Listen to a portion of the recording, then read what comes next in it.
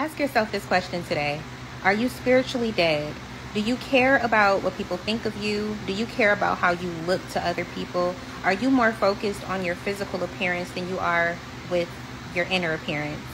Are you spiritually dead? Think about how many beautiful people you've seen have the ugliest attitude. No matter how many wigs she put on, no matter how much makeup she cake on her face, no matter how many designer clothes she wears, you're disgusted because at the end of the day, she's an ugly person.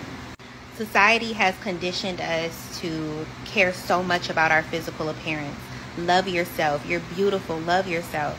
And although those things can be true, over loving yourself can make you self centered. If you're counting your blessings and they're all materialistic, you're spiritually dead. It's time for us to get out of the ways that society has conditioned us to be in. And guess what? When you become spiritually woke, that's when the true bo- booty, that's when the true beauty forms. That's when you start to see your true self because it's the best version of you. Getting closer to God will make you want to wake up in other ways.